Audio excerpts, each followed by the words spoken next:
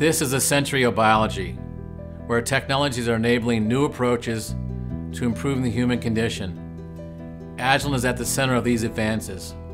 Whether it's pharma companies shifting from small molecule based drug development to new biological entities, or continuing to make personalized medicine a practical reality, or the increased interest in safe food, water, and air supplies, or synthetic biology entering the mainstream. Agilent has the team, the partnerships, the customer trust, the market knowledge, and the portfolio to advance in this century of biology. This is where the value for customers and shareholders converge. And my vision for Agilent includes both.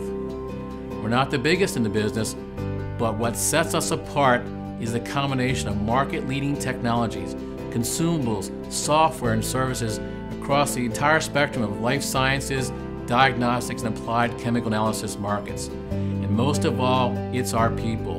We know our markets inside and out and are trusted partners to customers in achieving their goals, whether that's finding cures and treatments for cancer or Alzheimer's.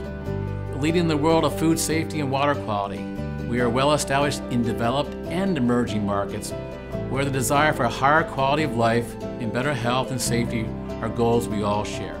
And remember, we are also a newly launched company with a new focus after the spin-off of the electronic measurement business.